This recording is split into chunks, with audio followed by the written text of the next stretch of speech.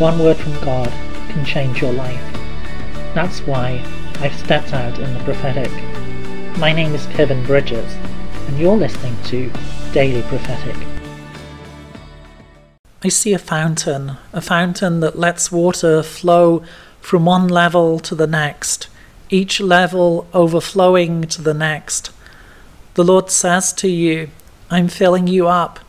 I'm filling you up with my love with my presence and with my peace.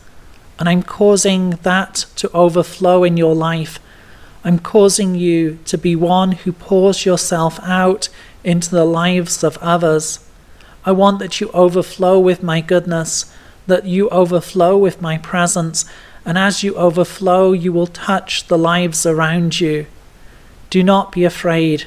Do not hold on to things for yourself, but give freely of that which I've given you, overflowing into the lives of those around, overflowing with my love, overflowing with my power and my generosity. For it is as you overflow that I will bring change and that I will bring my presence to the world. Would you like a personal prophetic word? Check out the website in the description below.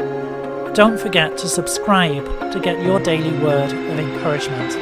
And whilst you're here, why not have a look at some other of the videos that I've made? God bless you and have a really great day.